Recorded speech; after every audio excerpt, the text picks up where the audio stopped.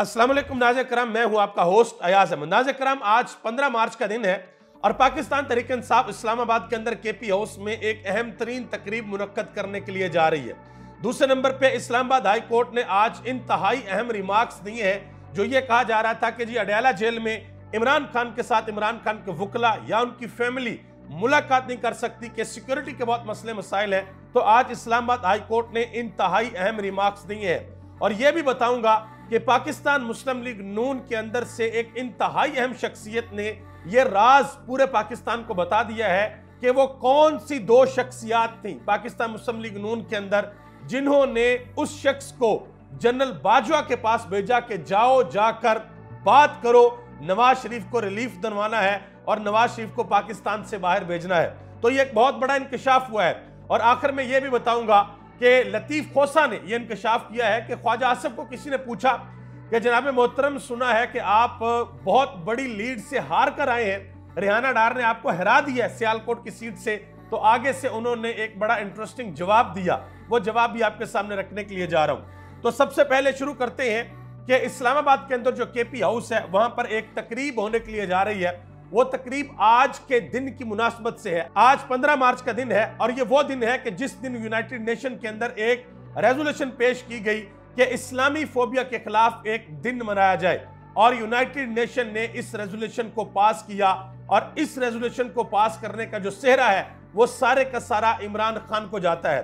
کیونکہ عمران خان عالم اسلام کا وہ لیڈر تھا جس نے یونائٹڈ نیشن کے اندر کھڑے ہو کر یہ بتایا کہ مسلمانوں کے لیے ان کے نبی محمد رسول اللہ صلی اللہ علیہ وآلہ وسلم، ان کی عزت، ان کی تکریم کتنی زیادہ ہے؟ عمران خان نے پوری دنیا کو بتایا کہ جب پوری دنیا کے اندر کوئی بھی بندہ نبی اکرم، نور مجسم، شفیع معظم، رحمت عالم صلی اللہ علیہ وآلہ وسلم کی شان میں کوئی ہلکی بات کرتا ہے تو ہمارے دلوں میں تکلیف ہوتی ہے۔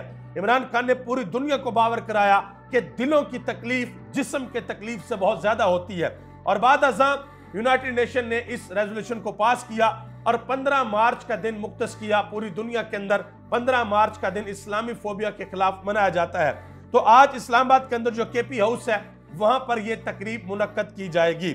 اس کے بعد آجائیں جی اسد کیسر صاحب نے یہ بات بتائی اور ساتھ انہوں نے ایک اور باتیں بھی بتائی ہیں۔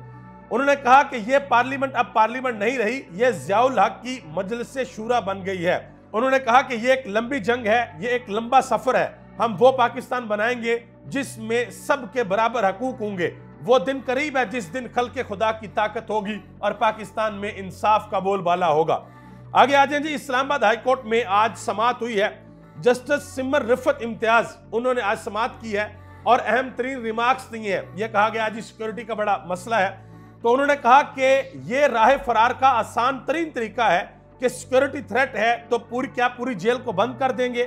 سیکورٹی تھریٹ ہے تو کیا پورے ملک کے موبائل نیٹ ورک کو آپ بند کر دیں گے؟ کل کو آپ کہیں گے کہ عدالت کے لیے تھریٹ آیا ہے تو کیا ہم عدالت کو بھی بند کر دیں گے؟ یہ انہوں نے آج اہم ترین ریمارکس دیے ہیں۔ اور شیر افضل خان مرت نے بھی ایک اعلان کیا ہے کہ عدالت نے یہ فیصلہ دیا ہے کہ عمران خان کے ساتھ جو ملاقات ہے، ایک تو وہ کروائی جائے گی، جو ضروری لوگ ہیں، وہ وکلا ہے یا ان کی فیملی ہے، اور اس کے علاوہ کچھ اور لوگ ہیں جو عمران خان کے ساتھ ملاقات کرنا چاہتے ہیں، لیکن وہ ملاقات نہیں کروائی جا سکتی۔ تو عدالت نے یہ حکم دیا ہے کہ وہ ملاقات عمران خان کی ویڈیو لنک کے اوپر کروائی جائے۔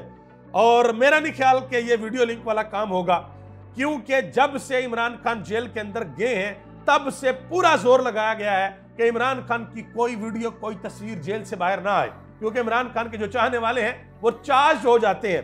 تو اب دیکھنا یہ ہے کہ عدالت کے حکم حکم کے اوپر عمل بھی ہوتا ہے یا نہیں ہوتا۔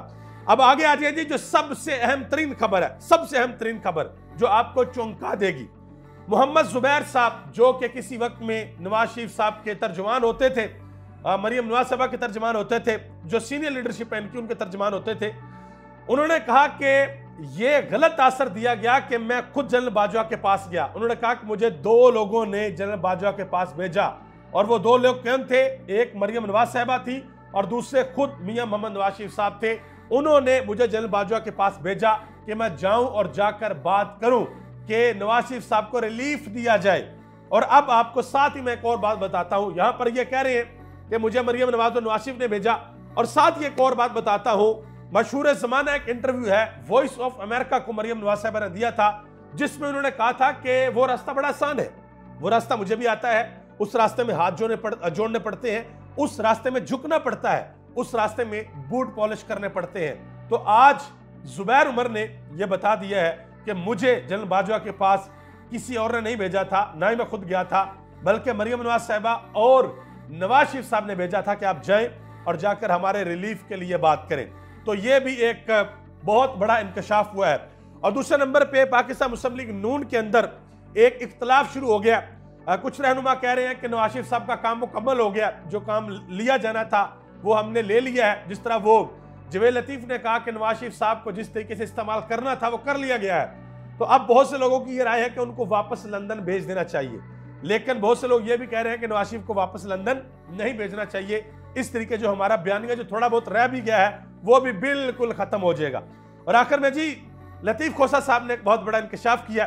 انہوں نے کہا جی خواجہ آصف صاحب کو کسی نے کہا کہ سنا ہے، آپ بڑے مارجن سے ہارے ہیں۔ تو خواجہ آصف صاحب نے آگے سے کہا ہے کہ ان سے پوچھو جنہوں نے مجھے جتوایا ہے، مجھ سے کیوں پوچھ رہے ہیں؟ اور یہ خود تسلیم کر رہے ہیں کہ انہیں جتوایا گیا یہ لطیف کھوسا نے بات کی ہے یہ خود تسلیم کر رہے ہیں کہ ان کو جتوایا گیا ہے۔ ان کو عوام نے ووٹ نہیں دیے۔ یہ دو نمبری سے اور بےمانی سے اور فروڈ سے اور دھوکے دہی سے آ کے پارلیمنٹ کے اندر بیٹھے ہوئے ہیں۔ آخر میں جی چودھری پرویز الہی صاحب نے بھی ایک اہم بیان دیا ہے، جو آج کل ماشاءاللہ بڑی ویڈیوز وغیرہ بن رہی ہیں۔ انہوں نے کہا جی اڈیالہ جیل میں ملاقاتوں پر پابندی غیر آئینی ہے۔ پی ٹی آئی کے مینڈٹ پر ڈاکہ ڈال کر عوام سے جو دھوکہ کیا گیا ہے، اس کے نتائج ٹک ٹاک حکمرانوں کی صورت میں ہی نکلیں گے۔ یہ انہوں نے بیسیکلی تنقید کی ہے۔ مریم نواز صاحبہ کے اوپر جو آج کل ماشاءاللہ بنا رہی ہیں ویڈیوز وغیرہ اور وہ ویڈیوز لگا رہی ہیں اور بڑی مشہوری وغیرہ ہو رہی ہے۔ لیکن سوال یہ پیدا ہوتا ہے کہ کیا جو گورننس ہے وہ بہتر ہوگی؟ کیا پاکستان کے عوام کی جو مشکلات ہیں وہ حل ہوگی بھی آگے گرمیاں شروع ہو رہی ہیں۔ اور مصدق ملک صاحب نے ٹی وی کے اوپر بیٹھ کر کہہ دیا کہ جی وہ جیسے گرمیاں شروع ہوتی ہیں تو ہماری جو ہے وہ شامت شروع ہو جاتی ہے، لوگ جو ہے وہ ہم سے ناراضگی کا اظہار کرتے ہیں۔ وہ تو پھر اینکر نے ساتھ یہ بھی کہا جی ناراضگی نہیں ہوتی، گالیاں پڑتی ہیں، اچھی خاصی آپ کو۔ کیونکہ لوڈ شیڈنگ بہت زیادہ ہوتی ہے۔ تو انہوں نے خود ہی پہلے بتا دیا کہ بھائی یہ ہوگا۔ دعا کریں اللہ تعالیٰ اس ملک پر اپنا خاص فضل اور کرم فرمائے۔ اور میں آپ سے گزارش کروں گا، گزارش۔ آپ سب نے صد کے دل سے، چاہے آپ کا تعلق پی ٹی آئی سے نون لیگ سے کسی بھی پارٹی سے آپ یہ دعا اللہ سے ضرور کیا کریں۔ اگر آپ اس ملک کے ساتھ مخلص ہیں، اگر آپ کو پاکستان کے ساتھ پیار ہے، آپ یہ دعا اللہ سے ضرور کریں۔ ہر نماز کے اندر کیا کریں اور یہ رمضان کا مہینہ اس میں تو خصوصی طور پر کیا کریں۔ دعا آپ نے یہ کرنی ہے کہ یا اللہ، اس ملک پر اپنا کرم فرما۔ اس ملک کو جو لوگ اندرونی طور پر اور جو لوگ بیرونی طور پر نقصان پہنچانا چاہتے ہیں، ان کے شر سے اس ملک کو محفوظ فرما۔ اور ان کے جو ناپاک عزائم ہیں، ان لوگوں کو انہی عزائم کے اندر ملیا میٹ کر دے۔